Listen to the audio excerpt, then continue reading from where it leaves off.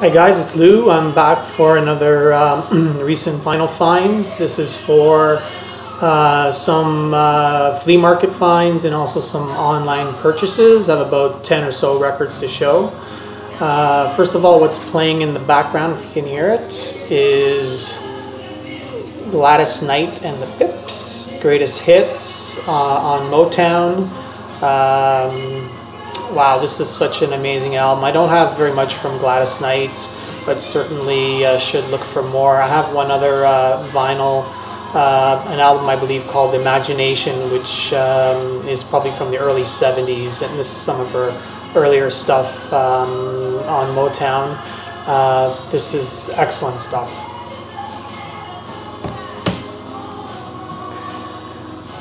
First flea market find.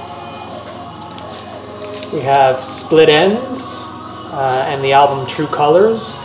This is uh, Split Enz is the um, band from New Zealand that includes the Finn brothers, Neil and Tim Finn. This is their, I believe, third or fourth album. It's from 1980. It's their most popular album. Uh, it includes the big hit I Got You. Um, Split Enz had that sort of new wave-ish um, post-punk sound a little bit, a lot of a lot of energy, great, amazing keyboards on here. Um, and I got into Split Enz. I only knew their one song. Uh, actually, I knew two songs. I knew I Got You, and I knew Six Months in a Leaky Boat. But I didn't know this album very well. Um, I originally had got into the band Crowded House and had several of their, or had a couple of their vinyls back in the 80s. Their debut album, uh, which of course had Don't Dream It's Over, Something So Strong, World Where You Live. I was a huge uh, Crowded House fan, saw them live a couple of times. So I had uh, their debut album, self-titled. And I also had their second album, Temple of Low Men. Uh, this was uh, a little bit less successful than their first album, but included the big hit, um, Better Be Home Soon. And while I got into Crowded House, I started digging a little bit into Split Enz, and I ended up getting uh, back then this best of Split Enz album called History Never Repeats. Um, has some of the songs I mentioned before I Got You, Six Months in a Leaky Boat, uh, Message to My Girl, uh, a really nice compilation, but this came as a result of me knowing a little bit about Split Enz, but mostly being uh, a big Crowded House fan. Okay, the next flea market finds. Lately I've been trying to get some John Mayall, and I got this album called USA Union. Uh, my last John Mayall, you may remember, was an album called No More Interviews from 1979. Didn't like it at all. Uh, it wasn't a blues album and uh, was actually quite bad. Uh, this album, uh, I knew a little bit going into uh, purchasing it. Um, it's from 1970. It's uh, it comes after the album Turning Point, uh, which was a live album, and after the other uh, very famous Blues Breakers album. Uh, this is the first album that John Mayall made with an all-American backing band. The core band on this is a trio of uh, bass, uh, guitar, and violin. No drummer. Um, and John Mayall on harmonica, uh, keyboards, and vocals. This is a great blues album. The guitarist on here is a guy that I didn't know called Harvey Mandel, who apparently was uh, a big influence um, and quite well liked by Billy Gibbons of ZZ Top. I think probably the find of the day was Iron Butterfly Ball uh, this is Iron Butterfly's third album. Uh, it came after In-A-Gadda-Da-Vida, which is their most well-known album. Um, they still had the most of the classic lineup on this album, and uh, there's some amazing keyboard playing on here. Reminds me at times of the Doors. Um, not that they sound overall like the Doors, but the keyboards at times reminds me of that. But this was uh, something I didn't expect to find at all at a flea market. Now we have greatest hits, Booker T and the MGs. Um, so obviously everybody knows the song Green Onions and that's on here. So this is an early comp from the late 60s. Um, and if I find other Booker T albums, then great. But this is quite a good, uh, quite a good collection to have. Back from 1988-89, we have Edie Brickell and the New Bohemians. Um, I had this originally on cassette. Uh, first year university, remember playing this a lot. Um, she had the big hit, the song uh, What I Am. Uh, what I am is what I am, are you what you are or what?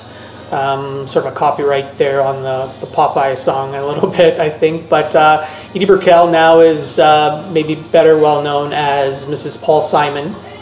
Uh, but this is the first album she made with the band The New Bohemians. Uh, they only made one or two other albums since then.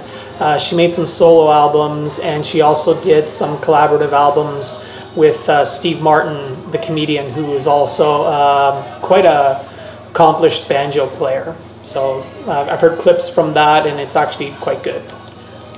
This is very much sort of an indie rock, chiming guitars, jangle pop kind of stuff. Uh, on my favorite Canadian vinyl video, I showed an album by Ch uh, Toronto band Chalk Circle, The Mending Wall. Uh, that was their first full-length album. They had an EP called Great Lake before that. And their second full-length album is As the Crow Flies. Uh, certainly, and this was their last album, certainly less popular than The Mending Wall, but I had this originally on cassette back in the late 80s and uh, when I found it for six bucks uh, on vinyl, I had to grab it. Um, the next one is a flea market find uh, from my brother-in-law. Um, a lot of you guys have this. It's Changes Bowie.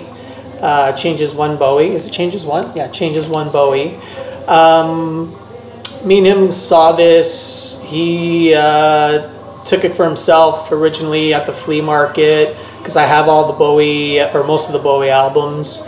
So I didn't really think I, needed this. But then he ended up getting the more recent Bowie uh, compilation uh, that goes all the way to Blackstar. It has Lazarus from Blackstar. This uh, covers um, Space Oddity down to uh, Golden Years. So it's not complete by any sense. Um, but it's still nice to have a bunch of Bowie uh, hits and singles all on one one album. So thanks for this one, Sam. Online purchases. So I, I had this one originally on uh, CD, and it was one that I liked, and uh, I thought, you know what, if I ever see the vinyl for a decent price, I'll pick it up. Um, this is Elvis, the collaboration album between Elvis Costello and The Roots, uh, Wise Up Ghosts. It's quite uh, quite a good album. I really really like this. It it will never replace um, his classics like um, you know My Aim Is True or This Year's Model or Armed Forces or anything like that. But it's a really nice collaboration between Elvis and The Roots. And uh, just want to show you the gatefold on this. It's a really nice picture of Elvis with Questlove. Sorry if there's a glare. Um, I really like this album. It, it's what a collaboration between Elvis Costello and The Roots. It's what you think that would sound like. Some really nice um, chilled out beats and uh, Elvis uh, a lot of times very sort of deadpanish vocals but it's but it's him. Like it's um, it's something that I really really really enjoy. It creates a nice mood uh, overall. Again no uh, mega mega hits that are going to come off of this but it again it creates a nice consistency of sound. And two left we have Cream Wheels of Fire. Uh, this is the third Cream album. Uh, this one is, I had this on CD before as well. This album is, first disc is studio songs, um, all sung by Jack Bruce, um, which is a little bit strange because there was a lot of vocals from Eric Clapton on the preceding album, Disraeli Gears. Uh, and then uh, the second disc, uh, one side, it's four songs, two songs each side, they're all live. Um, an amazing version of Crossroads, which is a classic Cream song, the cover of the Robert Johnson song, sung by Eric Clapton. And um, there's also a great version of Spoonful on this uh, really epic version, which of course is the uh, cover of the Howlin' Wolf song that Cream originally did on their first album, Fresh Cream. Then uh, the fourth side has two lesser song, known songs, um, Train Time, which is a cover. Uh, I'm not sure who, who does that, and uh, the song Toad, which is uh, instrumental, um, an instrumental written by the drummer Ginger Baker. And last but not least, this was something that was on my want list for quite a while. It's Cream live at Royal Albert Hall. This is from the Cream 2005 reunion. Um, and the band is just on fire on this. This is a triple LP. Um, they're just playing so amazing. I have this on CD before and also on DVD and um, just had to get it finally on vinyl. And the pressing on this is outstanding. Um, highly recommended for any Cream fans. Uh, it's not Cream as the, as they sounded in the '60s, but certainly as they sound or sounded in 2005. Um, in my opinion, were blowing away many bands. Uh, Eric Clapton seemed rejuvenated and was just playing guitar in, in a way that he hadn't played guitar, I think, in uh, in years. And um, obviously, the other two, Jack, Jack, Bruce and Ginger Baker, they haven't lost. They hadn't lost it as well. Um, this is a fantastic, fantastic album. Okay, ready? So thank you. Uh, I want to thank all my subscribers uh, so far, and I want to thank anyone who's uh, made comments on my videos. And again, as always, I welcome comments on this one. Thanks a lot.